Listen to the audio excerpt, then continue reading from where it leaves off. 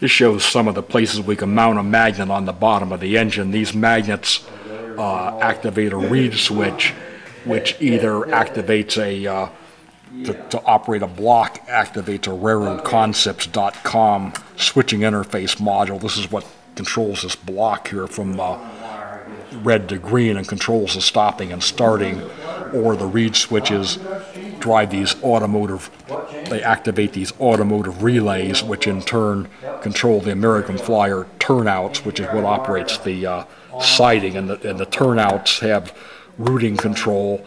When you put this button in the correct position, it'll cut power to one or the other sides of the siding, which is what stops the trains on the siding.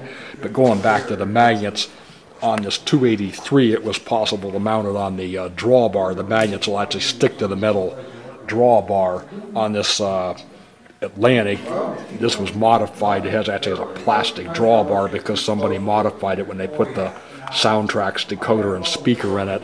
Uh, but the magnet seems to work here on the front uh, on the front truck. Going back to this uh, S Helper diesel, we glued the magnet onto the uh, front coupler. You can see the magnet up here on the uh, front coupler, up under the front coupler.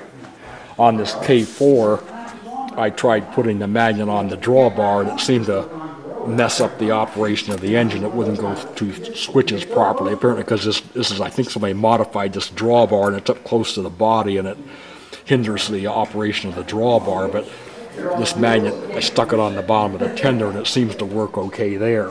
Now here's probably the best way to do it in the future. I found that with American Flyer cars, they have metal trucks and you can just stick a magnet on the bottom of the truck. There's a magnet just stuck on the truck. That way you could, uh, you know, move the car from one engine to the other as required. You don't have to mess with the engines. You just put them on the bottom of the cars. The only place this doesn't work if you're running a, you know, a, a scale coupler, which won't couple to an American Flyer car, then you've got a problem. But as long as you're using the larger couplers, this system would probably work. As I as I mentioned, this system needs to be uh, here modified to put these reed switches further back. The problem is if I try to use this magnet on the car for this system, the engine pulls the engine pulls the uh, magnet up to the reed switch, and the engine's up here in the block. So when the uh, magnet trips the reed switch and the power is cut off to that block, it tends to stop right there. And if you don't have momentum, the magnet will end up magnet will end up sticking sitting over top of the reed switch, which is bad because it'll keep putting continuous power to the turnout and possibly burn it out. Not to mention jamming the system. So, with the reed switch further back here, the magnet on this car would activate the reed switch, and the engine would still be getting power enough to pull it up beyond the reed switch.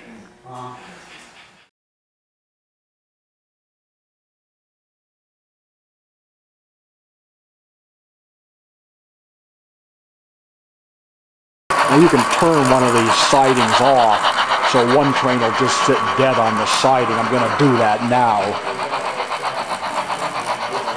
I'm going to go over here and depower the switching system.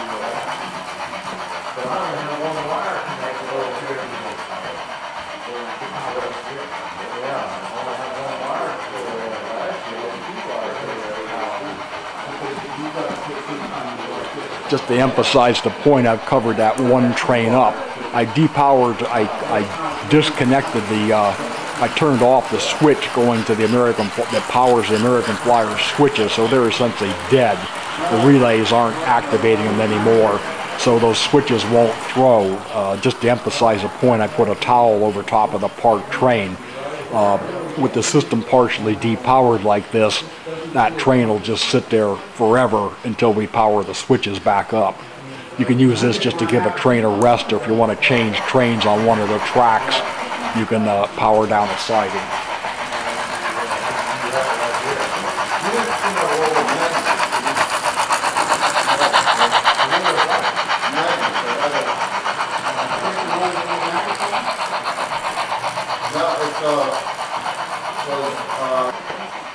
Now we'll power that siding back up.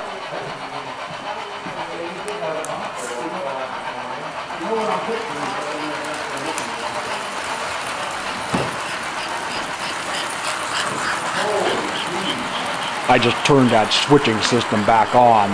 So next time the, uh, uh, you can see the switches, may be able to see the switches just went to straight. The switches are back in operation. So next time the uh, block goes to green, the diesel will pull out of the siding.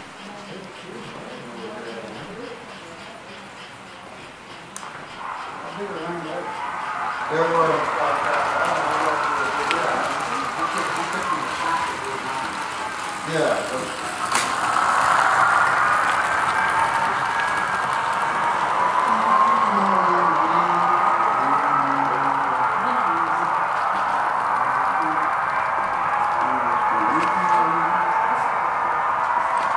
the location of that uh, reed switch that sets the system to green, which is back where the uh, green cardboard is in the rear of the layout. Repositioning, repositioning that makes a radical difference in how the system operates. Uh, if you move that thing uh, counterclockwise around the loop back closer to the block, it'll pull trains out of there sooner. On a longer layout, you can actually put two or three trains on the main line at the same time. With large scale, we actually would hold two trains in the yard and have two out on the main line. So when you move that uh, that green, that track contact reed switch that makes the system go green uh, to a different position, it alters the way the system operates.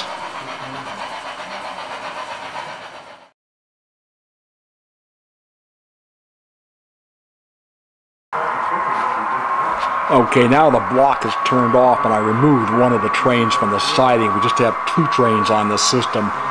This system's now operating in the same mode as it did in the previous video number, video number 659. Uh, just a two train automatic passing siding situation. You can see the one train, the diesel will come in, throw the switches and stop and the steam engine uh, will pull out.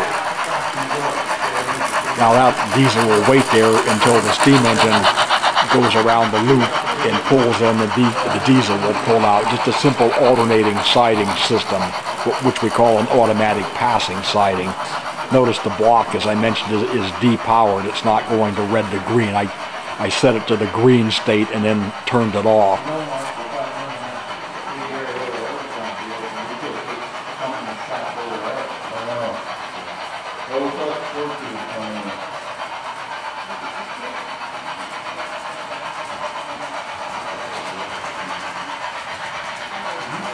Now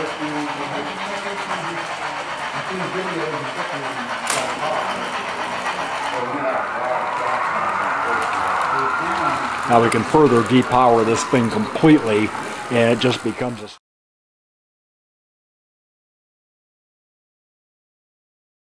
Now we can further depower this thing completely and it just becomes essentially a piece of straight track if I turn the, the switching, uh, turn the siding control off.